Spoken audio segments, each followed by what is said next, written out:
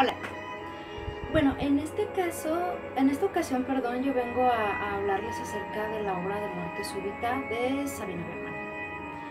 Sabina Berman Goldberg nace el 21 de agosto de 1955 en la Ciudad de México. Es una escritora, periodista y dramaturga contemporánea y tiene mucho éxito crítico y comercial en todos los trabajos que ella ha tenido. Muerte Súbita fue escrita en 1988 y esta obra nos habla mucho acerca de poner a prueba lo que viene siendo amor y amistad y de lo frágil que puede derrumbarse eh, tras la llegada de un imprevisto, en este caso es un intruso, que afecta la relación de una pareja, sacando a flor de piel pasión, rencores, liderazgo en el poder de sexos. Y bueno, es una obra que consta de 15 escenas. Es diegética, aunque yo vi algunas partes miméticas, pero más diegética. Y en fin, la obra empieza con una pareja. Ah, tiene partes simbólicas muy padres, eso sí. Tiene unas referencias muy interesantes. Y es que una pareja vive en un edificio abandonado, a punto ya de, de, caerse. De hecho, lo van a demoler. Y está súper frágil donde viven. Y eso hace una referencia muy poderosa a la relación que ellos tienen. Gloria es una modelo, eh, poco intelectual, pero muy bonita, con un cuerpo muy padre. Y Andrés es su pareja y es un escritor muy obsesionado con querer hacer una novela, querer terminar una novela que no, alrededor de la obra nunca la termina. Eh, y bueno, esta pareja cree tener el control necesario, sobre todo Andrés, con Gloria. Gloria en realidad no está muy conforme con la vida que ella tiene. Hasta que llega entre ellos dos la llegada de Odiseo, que es el mejor amigo de Andrés.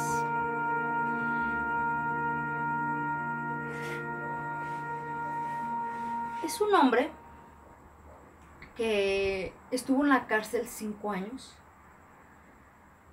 por posesión de drogas. Entonces, la, la, presencia de él es muy tosca, es muy fuerte. Y a pesar que él dice que es mejor amigo de Andrés, Andrés no está muy a gusto con su presencia. ¿Por qué? Porque el peso que tiene este personaje es que se siente mucho más grande, pesado que él. O sea, llega al apartamento y empieza a apoderarse de su espacio, todo el entorno que tiene, la forma de hablar, de sentirse más que él. Inclusive con la libertad y seguridad que tiene Odiseo se mete entre, entre esta pareja eh, a lo largo de la obra. Entonces, es una persona que va a ocasionarle muchos problemas a Andrés, porque Andrés lo que hace es conflictuarse él solo contra la presencia de Odiseo. Entonces, el, simplemente la obra empieza un poquito ya con un símbolo fuerte, porque ambas, la pareja está cogiendo, entonces eh, suena el despertador, Andrés se levanta, dejando a Gloria así como está, lo cual pues ella se queda como diciendo, ¿qué onda, no? Y bueno, eso también es una referencia un poquito poderosa para, para el espectador. Y ellos creen estar bien hasta que llega esta persona. Y para acabarla de, todos los males, no solamente se apodera del entorno de, de Andrés, sino que es muy evidente que Odiseo tiene una posición muy fuerte sobre él, inclusive con, con Gloria. Andrés decide irse a correr y se quedan ellos dos juntos. Entonces, Gloria platicando hace, hace una revelación muy importante que es que ella en realidad nunca se ha sentido muy amada por Andrés. Que ella siente tener este problema como su mamá, que hizo lo mismo con su papá, o sea, no se sienten amadas ni queridas, siguen al hombre que aman hasta el fin del mundo si es necesario, dan mucho por tan poco a cambio. Entonces, como el amigo Odiseo también, pues es una persona muy culta, busca la forma de seducir a Gloria, quien ella cae.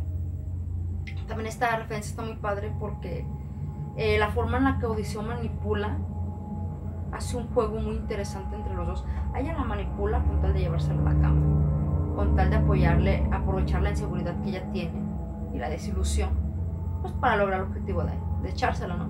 Y tiene mucho este poder también él para poder hacer lo que quiera con Andrés. Y Andrés tiene mucho esto de que él cree mandar mucho sobre Gloria, porque ella no, pues no hace mucho, mucho al respecto. Cuando este Andrés llega, él los encuentra en la cama de los dos, pues hace un, des, un despapalle, pero hace esta transición Gloria de ella no estar feliz, no estar a gusto, que reconoce que la había regado, pero no desiste decir, me fallaste, como pareja me fallaste. Entonces, a pesar de que a ella le duele mucho de la situación, pues de todas formas ella decide eh, irse, irse del departamento, no continuar con la relación, llevándose todas sus cosas.